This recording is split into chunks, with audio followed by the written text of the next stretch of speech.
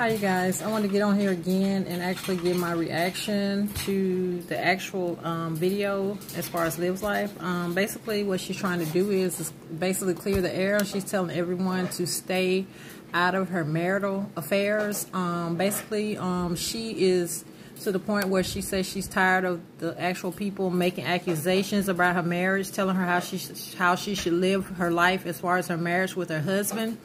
I personally think that she has the right to say that because, first of all, that is her marriage. But what she fails to realize is that when you put things out on YouTube like that, you give people the, the opportunity to, to have their side, which is criticism.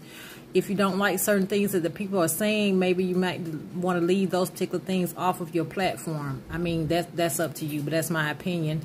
Um, she also did the day in the life where she basically was um, having a vlog with the actual actual child. She was basically letting us see what the child is doing or whatever. But I think it's um, a combination of where she's actually want to go back and forth with these ladies about the Houston trip and that she's trying to have validation as far as her platform.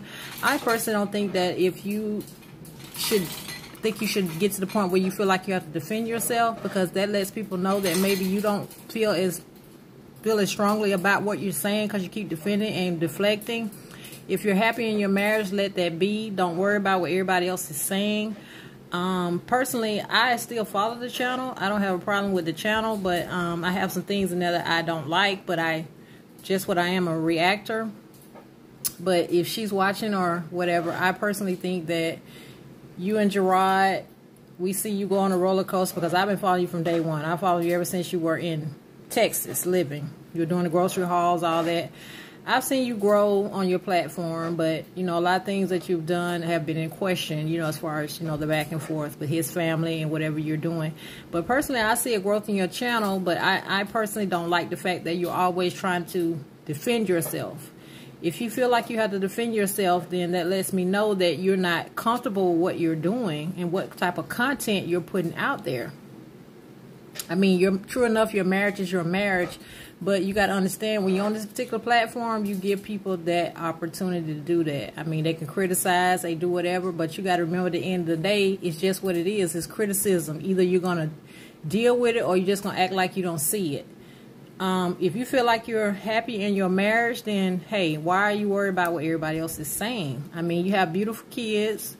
You say you're happy in your marriage, so I wouldn't worry about what other people are saying. But that thing as far as back and forth between you and you ladies about trying to defend what went on in Houston, I still say like I did on my last video, leave it alone. And the reason why I say that, and I'll reiterate it again, you ladies have kids. These kids are watching, they're seeing what you're doing, and most importantly, they might see these future videos. So you got to take that type of stuff into account when you're doing what you're doing. I just want to jump on here and get my reaction. And I also wanted to let everybody know that I will be posting another video. It will be about my Jazzy life and the things that she has going on and my take as far as the, what she's defending herself as far as what went on in Houston and how I feel about it.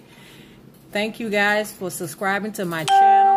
Most importantly, I also want to, to thank everybody that also subscribed to my other channel, Keeping Up With The Joneses.